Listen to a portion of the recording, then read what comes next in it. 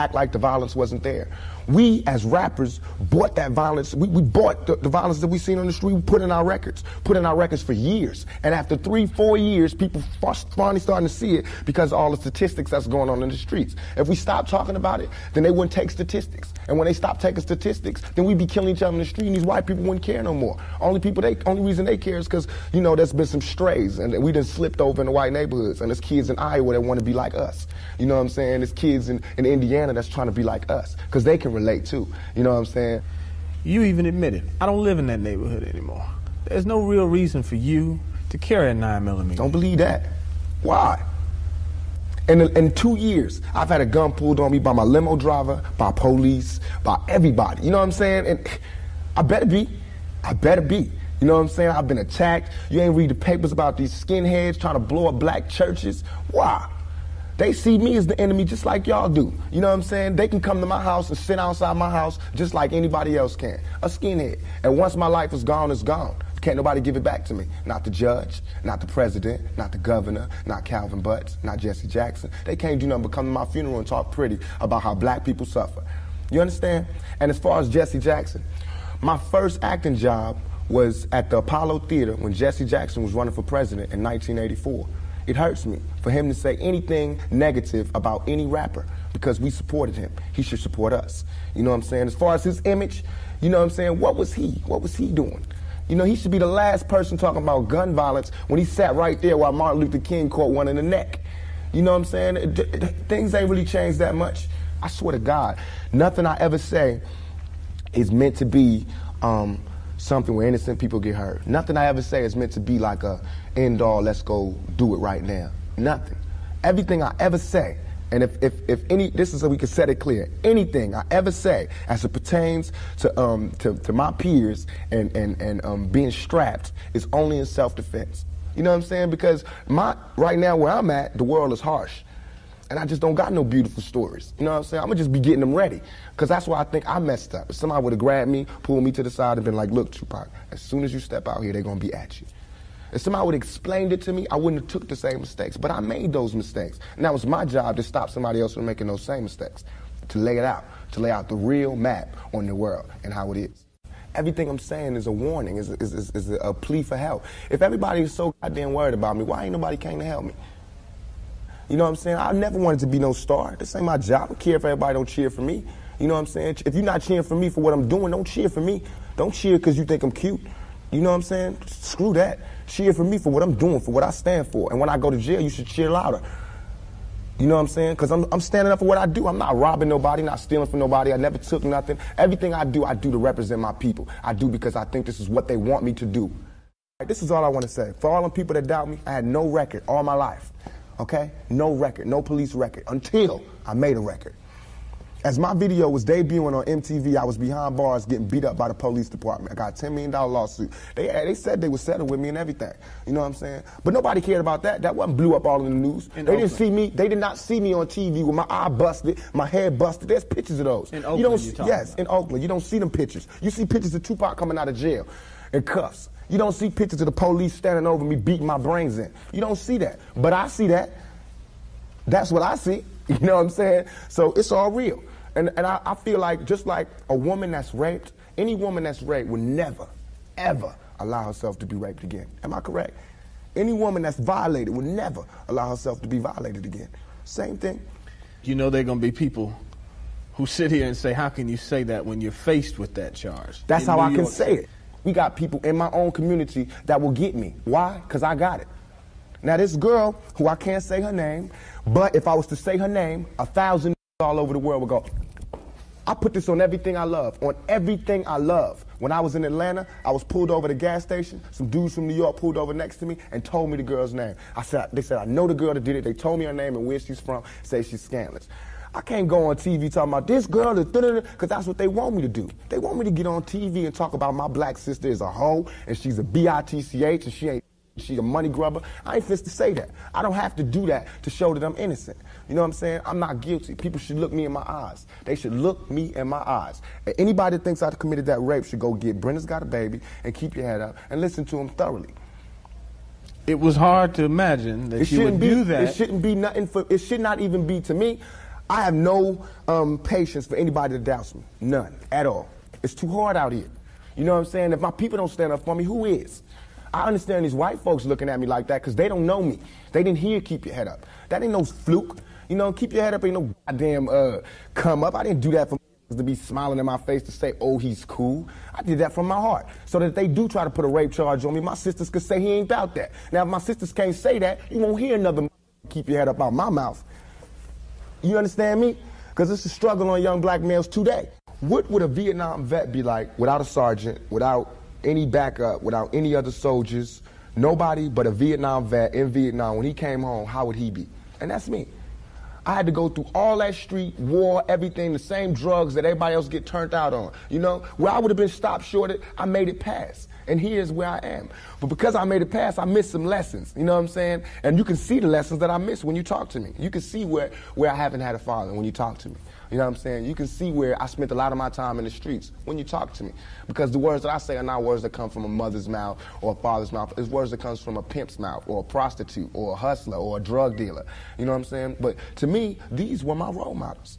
How much of that, though, in terms of growing up without a father, sometimes not being with your mother, do you, do you lament on and look back and say, damn, I, I missed something big? Everything. I, um, I know for a fact that had I had a father, had I had someone, and I hate saying this because white people love hearing black people talk about this, but had I had a father, had I had some of these opportunities, I'd have been able to help my mother more. She wouldn't have went the road she went. I could have been a better son. You know what I'm saying? She wouldn't have went that road. It was the absence of my father. You know what I'm saying? I'm dealing with him being daddy not being there. My mother's dealing with him being my man not being there. You know, so many problems in our community that that um, affect everything. So by me not having that, I ain't never want to hear nothing about no kind of relationships between a black man and a black woman. I knew they didn't work. Because as far as I knew, my daddy was the coolest dude out there. And my mama was a panther. So if they didn't work, it don't work. That's how I felt. You know what I'm saying? And going out there, you know what I'm saying? It's like, watching my mother just go through changes and everything. It's like my mother's my partner. She a soldier. You know, she a soldier like I'm a soldier. You know, and I, I watched the, the peep the game that she went through. If I, I would have went the same way my mother went had not she did her route and showed me which, where it went wrong with her. My mother always told me, don't you ever, ever just um, volunteer yourself to our people because they'll use you. That's what they do. You know what I'm saying? She never. She also told me to uh, follow my heart and for me to be the leader. But it's interesting to see just the change in your face, your reaction, your, your, your thought process. That's all I ever wanted to do. Ask my mama. I wanted to go to college. I went to school all the way and was ready to go to college. The only thing that stopped me was money. The time we all my all the kids in my school was writing applications to go to college. I didn't have no lights and no electricity, and that ain't my mama's fault. You know what I'm saying? So when I think back to that, I'm not thugging for me. I'm thugging for my family. I pay all the bills. You know what I'm saying? I, I feed my whole family. Wrong or right, I do. And I can't stop. You know what I'm saying? And if thugging is gonna make me a million bucks, because it just got me platinum, then that's what I got to do constantly. And if it makes me feel, because right now, I feel satisfied. I don't feel like I've ever embarrassed myself or my people, you know, in nothing that I've done. And yet and all, I got the whole world fear me. You know what I'm saying? At 23 weighing 160 pounds. You know what I'm saying? And I ain't even started. I haven't even rolled my plan out yet, and they scared. I got the vice president know who I am, the president, every cop in every city. You know what I'm saying? And I haven't even started working out a plan. We killing each other because we killing ourselves. We not when a man, when another man, I know I've been in a position. It don't. It's, not, it's out of our control. It's not like he wants to kill. He just doesn't want to die. You know what I'm saying? It's that it's that situation when you got we, we are living in a war zone. It's not as easy as these people are making us think that they just got some criminal ass black kids with guns. It is not like that. We live in hell. We live in the gutter. We got us stacked up 80 deep in one building. You know, by the time you get out your house, you strapped to protect yourself. Because you living in the same community that the police is carrying rifles and riot gear. Same, they need them riot, excuse my language, I'm so sorry.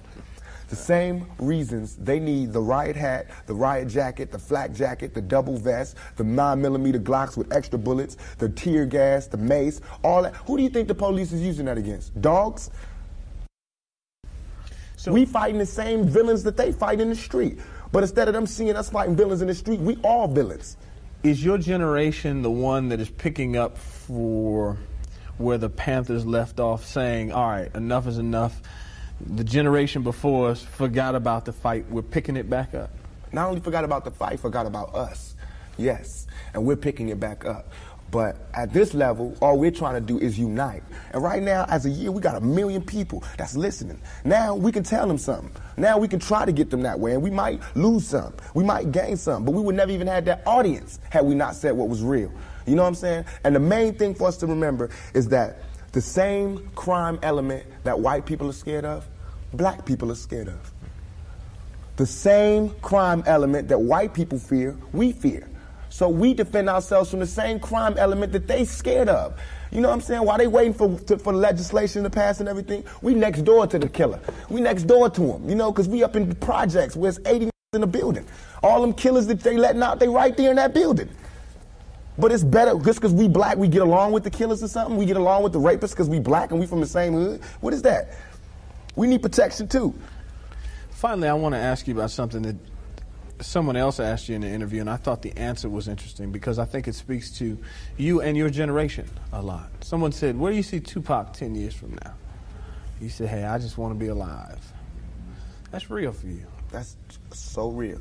I can't, I made a metamorphosis. I'm a new person today because I used to strongly and honestly, honestly, I feel like I could represent my generation so much because I honestly did not care whether I lived or died.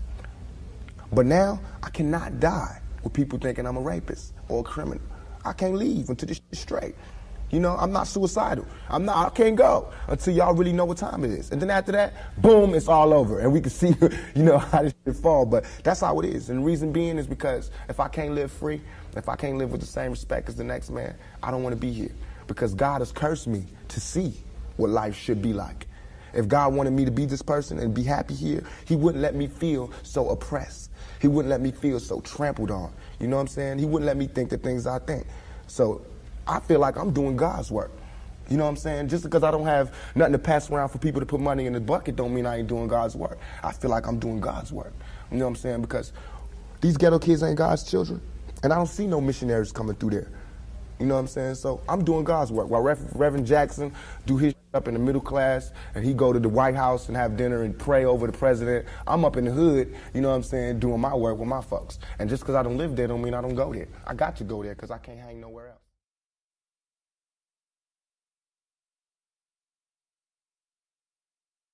Big Syke, new, Hank, go go, big yeah. Y'all know how this shit go, you know. All eyes on me. Roll up in the club and shit. All eyes on me. All eyes on me. You know what?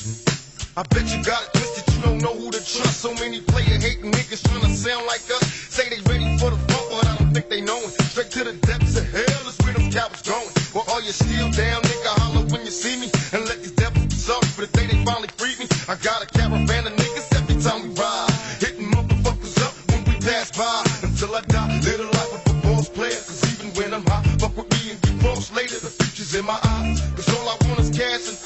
and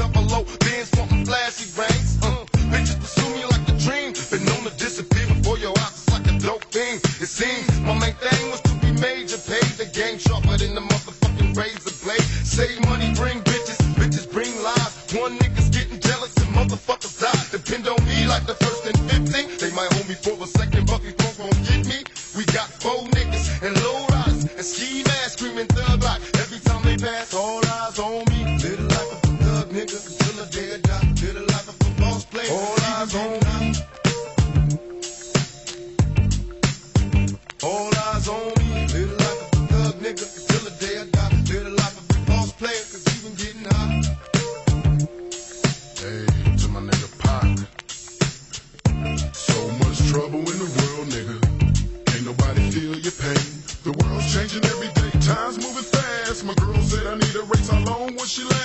I'm caught between my woman and my pistol and my chips. Triple beam, got some smokers on, whistle as a dip. I'm lost in the land